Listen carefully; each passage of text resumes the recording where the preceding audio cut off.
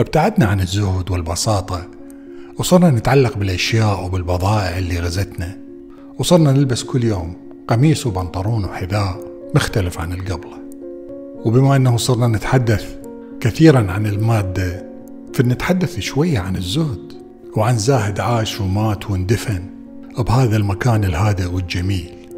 اليوم نتحدث عن المتصوف أبو النجيب السهروردي.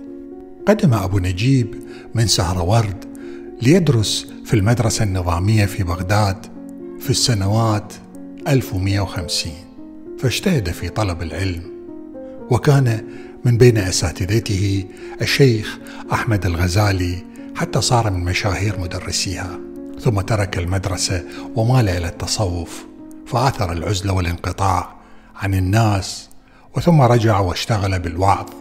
واجتمع حوله طلاب التصوف. كان من أشهر تلامذته ابن أخيه الشيخ عمر السهروردي صاحب كتاب عوارف المعارف في التصوف. وعندما توفي دفن في مدرسته هذه فهنا قبره ومدرسته ومكانه الذي عاش فيه. المكان مجاور تماما لدار الحكمة في الميدان والتي كانت محلة سوق السلطان أواخر العصر العباسي. كان المكان هنا يغص بالمدارس والمساجد والمكان كان مليء بطلاب العلم.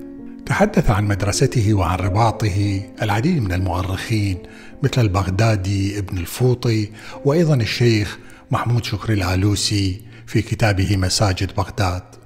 بقوله مسجد قديم العهد في جانب الرصافة واسع المساحة فيه مدرسة وفيه إمام مؤذن وفيه قبر الشيخ نجيب الدين السهروردي دفن في هذا المسجد وكان يومئذ مدرسة له. وبقى هذا المكان مدرسة واستمر التدريس فيه حتى منتصف القرن العشرين ثم أزيلت المدرسة. أما الرباط فقد تحول إلى ناد للضباط بينما صار قبر الصوفي أبو النجيب في أحد حجرات المبنى.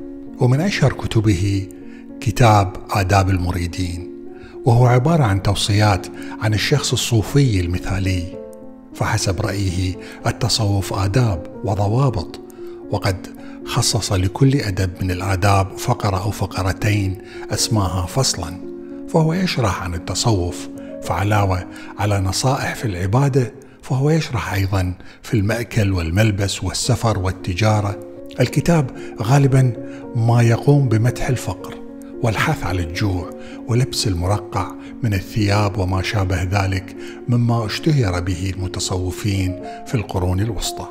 في الحقيقة وجدت الكتاب يعاصر الفترة التي نعيشها فمثلا ينصح في الابتعاد عن الملابس الأنيقة والمتكلفة بقوله يلبسون ما يجدون من غير تكلف ولا اختيار فمن يغسل ثوبه لم يجد خلفا ويشجع على الابتعاد عن لبس الشهرة من الثياب.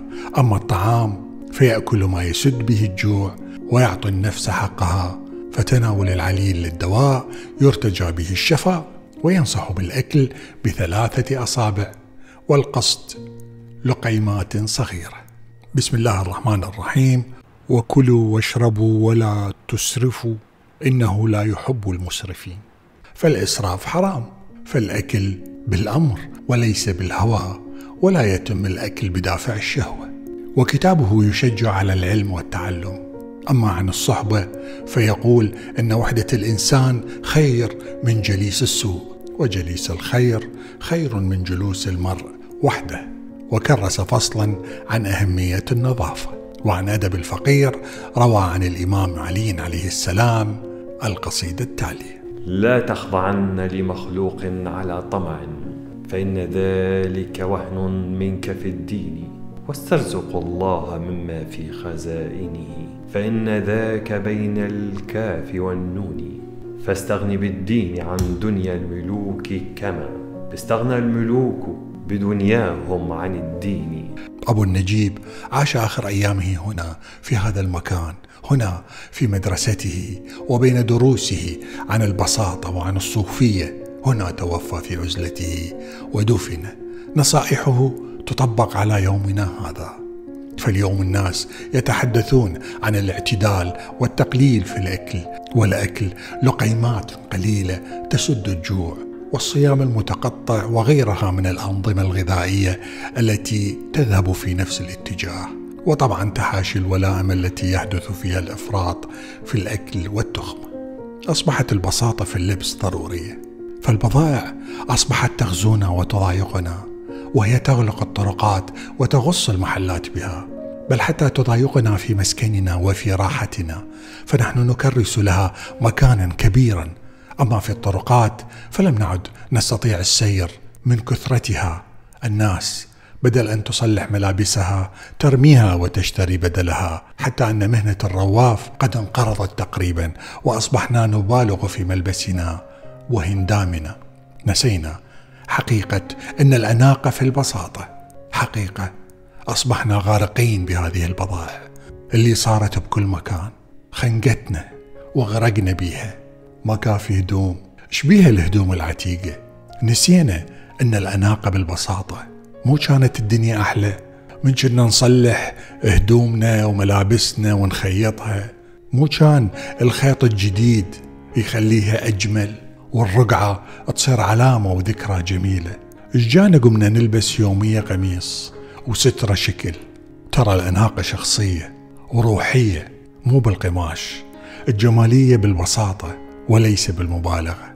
إيش قد حلو كان الرواف من يصلح البنطلون؟ يطلعه حلو. حتى كنا نعرف بعض الأصدقاء من سترته أو قميصه أو من حذائه. كنا الحذاء انصلح عدة مرات. وكل مرة يسولف لنا الإسكافي سالفة مختلفة وهو يخيط الحذاء. مو كانت حياتنا البسيطة أحلى. وهسه وبكل هذه الفوضى وبكل هاي الهدوم اللي تحيطنا والبضائع اللي احتلتنا واخذت أحلى مكان ببيوتنا. صرنا ضحية البضائع ونسينا البساطة الكثرة مثل القلة. لا بل مرات الكثرة تقتلنا مثل ما هي خانقتنا اليوم. إيش قد حلو من كانت السترة تعبرك سنة وسنتين وثلاثة. ورغم إنه إحنا نركض ونجري خلف الحياة وخلف المادة لكني أقابل بين الحين والآخر أشخاص زاهدين بالفطرة من دون مدرسة. زاهدين في حياتهم وفي مأكلهم وفي ملبسهم وفي سلوكهم وفي هدوءهم هادئين حتى في عملهم. يتمتعون بسكون روحي عميق ما يتمسكون بشيء ويمرون بهاي الحياة بابتسامة خفيفة واثقة. ومثل ما قال الشاعر واللي بيت شعره هذا يلخص الزهد. تركض تلم فلوس إيش قد رايد تعيش؟ الجفن ما بيجيب مثل الدشاديش. تحياتي.